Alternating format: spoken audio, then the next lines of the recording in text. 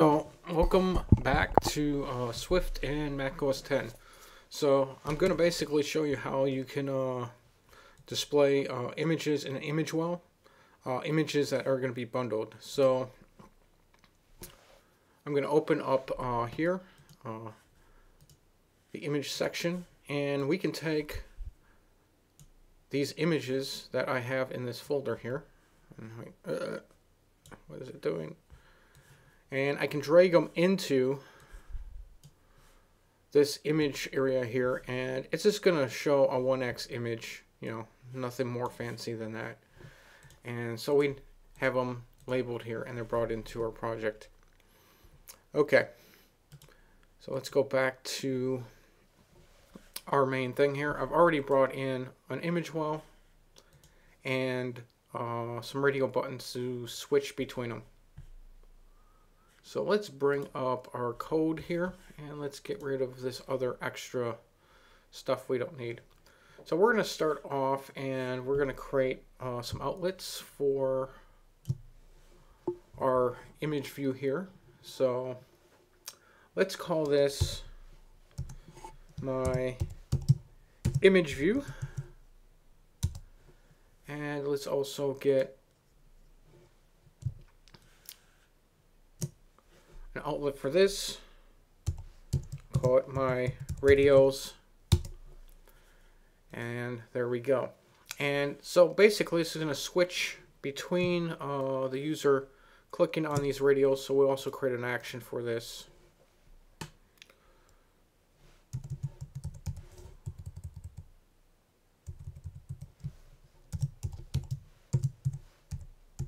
Call it radio image switch. And there we go. So we already have these images in here, and let's uh, bring those back up here. Uh, so we already have names for them.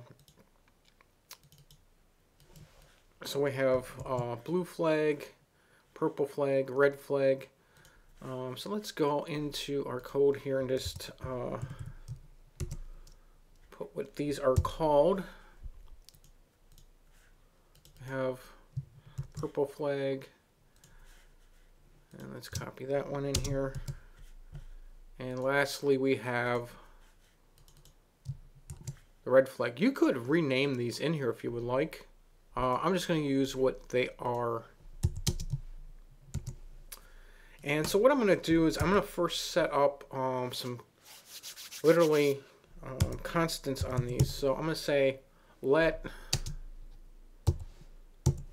my R flag, which will represent red, that will equal uh, an NS image. And you can see there's a number of different things here. What we really want here is named. And so we can then take this here and add the string. Of course, we do need to add quotes and we also need to give it a exclamation mark at the end. And let's do another one for my purple flag. So we call it a P flag. And this is, they're really all going to be about the same here. So I'm going to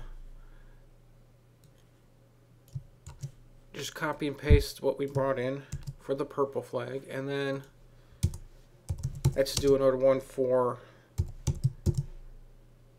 blue flag.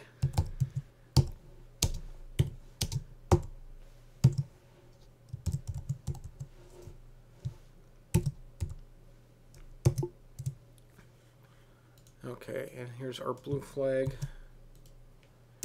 We can just copy and paste what we had brought in.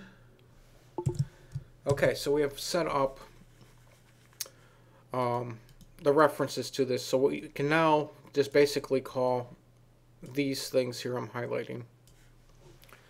So when the user uh, selects the, and let's see, where are we here? Where's our view? Let's bring up our nib view here. So user will click on these and bring this up. So we need to go in here now. And let's see here. I just want to make sure I got a little bit more room. Okay, I do.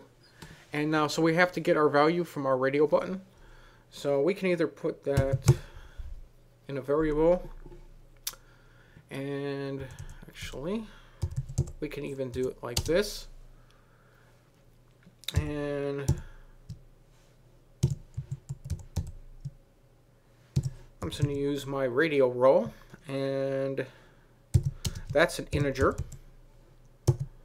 And that will be equal to and we called it up here my radios so we have to bring that down my radios and we're looking for the selected row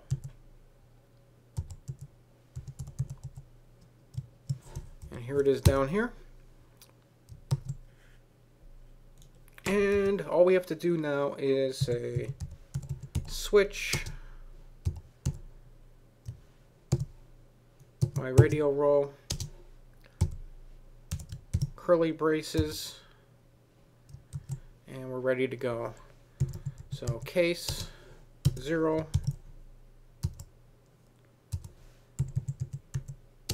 case one,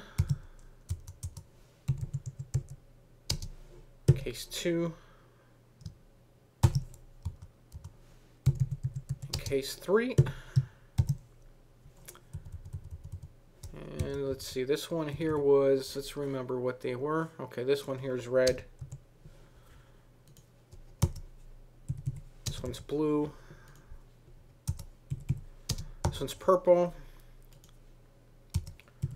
This one is none. Okay, so all we have to do now is um, call what we called up here for outlet for this image view, which we called my image view. So we can just bring that in here down here and just paste that in.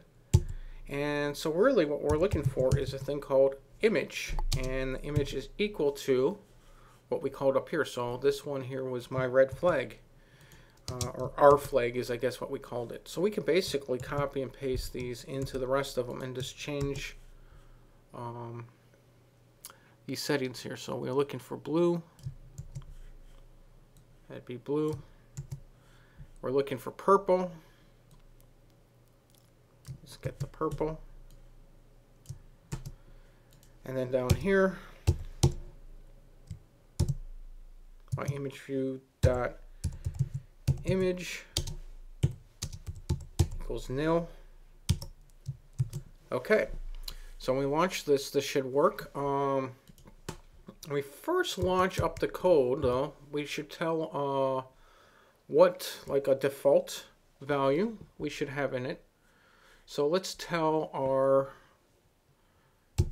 my radios, I believe is what we called it, my radios, and we're looking for the selected, well not selected, select, oops, I think I spelled that wrong, C-L, yeah,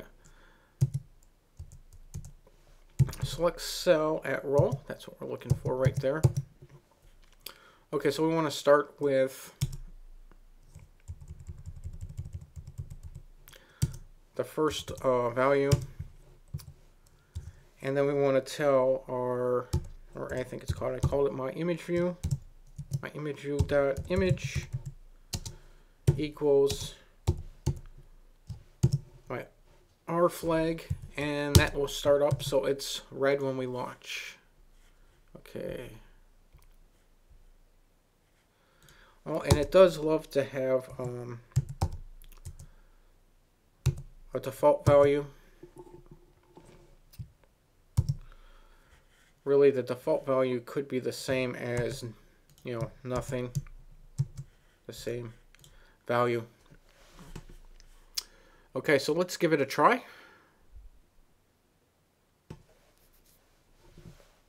And it is compiling now and should be launching in a second. And here it is. It has launched. And here is a red flag. And again, our blue flag, our purple flag, and no image. So you can see that works pretty good. We didn't uh, set up any of the resizes, but it's pretty simple how to do that. So that's how you would access uh, bundled images. And these are images that you would, uh, you know, import into your project, build your project, and would use to display for different things. Um, these are not for uh, importing or exporting images. I'll show that in a different uh, video. So thanks for uh, joining me and uh, hope you learned something. And let's go back through the code really fast. We did create two outlets, one for our image view and one for our NS, uh, for, for our radio buttons. We actually declared or we set uh, these constants so we could call this instead of always having to do all this extra code uh, made it a lot easier. And then here is uh, how we set the image. Uh, the name of our item dot image and the value. So it's very simple. And if you don't want to put any image uh, put nil in there. So it's it's very simple to do. Um, so thanks for joining me and have a good time